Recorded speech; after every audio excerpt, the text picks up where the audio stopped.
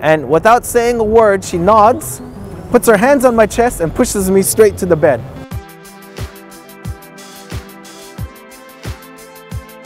What's up, everyone? My name is Arniel Brown. What's up, My Life Japan? Uh, I am from San Francisco, California, USA, and I have been in Japan since 2005, about 13 years and some change. I'm an English teacher. I've been teaching English since 2002 and teaching English in Japan since 2005. Actually, when I came to Japan, or before coming to Japan, I didn't have any impression at all. The only thing I had was the image of Fuji, just boom, and with the snow cap, and that was it. Before coming to Japan, we have this image that maybe Japan is very technologically advanced, but then we still do things that we don't do in America anymore, like still using fax machines, the copy machine at work is always busted. I can never get it working right. There's a lot of things that we don't have that we have in the States or elsewhere. Like I've heard of, I'm an English teacher, so I heard of things like smart boards and boards that you can write on that can be, whatever you write on the board can be downloaded into a computer or into a database. We don't have that here. Uh, I've heard of these boards, they'll, there'll be a printer attached underneath and you can just hit a print button and whatever you wrote on the board can be printed. We don't have that here. So a lot of these things that we don't have still shock me. Safety, safety. I'm, I'm still shocked that it's, it's hella safe here. Um, in the 13 years I've been here, I've only been in trouble like three or four times. I originally came to Japan on jet and the jet orientation, they were like, don't go to Kabukicho, go, don't go to Kabukicho. And all of San Franciscoans were like, you know what, we're gonna go check out Kabukicho. It can't be that bad, right? It's Japan. Oh my God, I got into some trouble. So that night, we were on our way back to the hotel. It's about 11 p.m. And this Nigerian dude walks up to us and he's just like, hey guys, you guys like hip hop? And we're like, yeah, we like hip hop. he's like, come to my club, we'll give you a free drink. We got hip hop. But we got there, it wasn't a hip hop club, it wasn't a dance club, it was some skebe.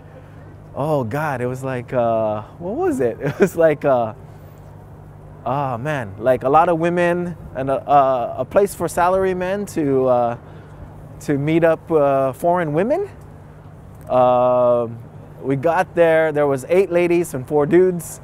And uh, we get there, we sit down, all the ladies get water, the four dudes me included, we get a beer, and then we get handed a bill of Ichiman Sanzen yen, and we're like, yo, yo, yo, what's going on? What is this? Oh, it was a big, big mess. Uh, my friend, who's El Salvadorian, went to go talk to, there were 13 Nigerians running this club. He went to go talk to 12 of them and left me with another guy who called himself Fresh James, who wanted to fight me for various reasons, don't know why. Somehow, some way, I convinced him not to fight me. I told him that my name was Arniel Brown, and I told him that I was black from America and that I don't fight my own people. And because he's black too, that and that we're brothers, we shouldn't fight. And somehow, some way, he was just like, "You're my brother." I'm like, "Yeah, man." He's like, "Okay, come here," and he gives me a hug and walks me out the door. Five minutes later, my friend from El Salvador was like, "I got this, man. I got this." And somehow, somewhere, we got out of that trouble without paying. But man, I was sweating it. That was the second night I was in Japan. So, uh, yes, it's safe. But besides that and some trouble that I got into last year, that was basically it. Like two times, three times in the 13, 14 years I've been in Japan. Another crazy story was uh, when I came on jet. Uh, in those days, we used to have uh, inter-prefectural training courses. And all the new employees had to have a three-day training course in a hotel in the prefectural capital. So I lived in Kochi. What's up, Kochi? And um, somehow all the jets got placed in one hotel, but because that hotel was fully booked, I couldn't get into that hotel. So my boss puts me in another hotel called the Green Hotel.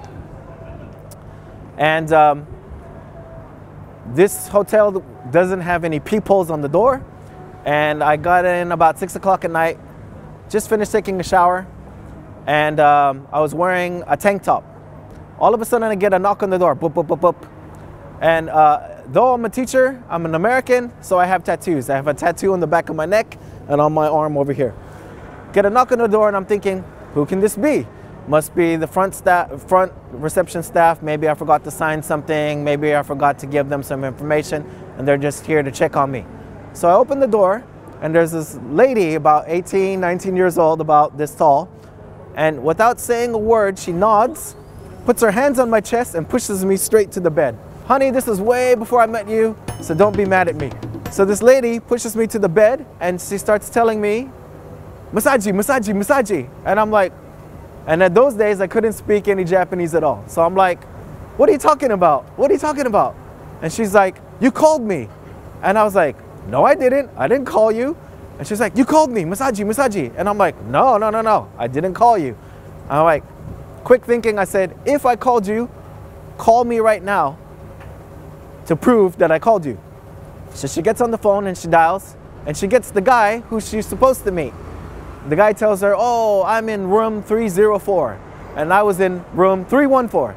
And she's like, oh, okay, I understand. And she, she rolled on out. I love Japan. Uh, been here a long time. Probably going to be here uh, a lot longer. Uh, but just one last story. Uh, a bad experience with a local Japanese person. It happened actually last year around Christmas time. Uh, I ride the Hanzomon line a lot. Um, I work in the day and I also work at night. I'm always working all the time. And um, I was watching YouTube and had my earphones on. And from across the way, this Japanese guy, uh, I wasn't paying attention, just watching my phone. He, he taps me on my knee and I look up and um, I had to pull off my earphones and he, uh, he said something strange to me and it caught me off guard. In perfect, clear English, he goes, stop taking video of me. And I was like, what? And I kind of laughed, like, and I'm like, what? What are you talking about, man? And he's like, stop taking video of me. And I'm like, and naturally, because I am who I am, I said, are you crazy, man? I'm not taking video of you. Leave me alone. And because I said, I triggered something when I said, are you crazy, man? He's like, now you must apologize. And I'm like, apologize for what? And he's like, for taking video of me and calling me crazy. And I'm like, dude, you need to sit down. It was an uncrowded train, but this guy was like right up in my face. And like, he's like, you must apologize. And I was like, dude, please sit down. And he's like, you must apologize for calling me crazy and videoing me. And I'm like, oh my God. And like, I do martial arts. And I was just like, and I'm from the hood and like but I'm conflicted because this is Japan and I know how things go like as soon as I do anything it's my bad it's my fault it's my butt that's to be thrown in the jail or being sent home and so half of me is like I could really mess you up dude and the other half of me is like oh I better talk this guy down because if I don't then it's my butt in trouble so he's like you must apologize you must apologize and I'm like please sit down and he says again, you must apologize, you must blah, blah, blah. Uh, please sit down. Finally, third time. And this time I was like, okay, I'm sorry. I apologize. Shake my hand, please, and sit down. And he was like, no. And I was like, oh my God, I'm really going to mess you up. And uh, so I start looking at him from toe to head, head to toe. And I'm like, okay, this dude is wearing a mask. He's wearing some New Balance. He's wearing this and that. Where are my exits? If he swings, what am I going to do? Am I going to get my bag and mess this guy up? But finally, the fourth time, I was just like, I apologize. Now, I don't want any trouble. Shake my hand and please sit down. And somehow, I don't know what happened in his head, but he didn't shake my hand. He didn't say anything, but he went back to his seat and sat down. And I was like, so the crazy thing is, uh, that guy spoke clear, perfect the cleanest English. And I don't know why he, he singled me out in that crowd. He was like, Naname Hidari, like diagonally across, not even in front of me, like like to the left of me. Yeah, across the way. Yeah, wasn't aimed at him. I was just watching. Uh, I was watching pro wrestling. What's up WWE? anyway, I was watching like that. Yeah. Wow. he was like he was looking for trouble. Yeah, yeah. Like my my when I told that story to my to my coach and everyone, they were like, yeah, he was, he was. Yeah, he was looking for trouble, but like, he was trying to provoke trouble, so like, if I make the move, then you know, like, it's on me, right? Right. So.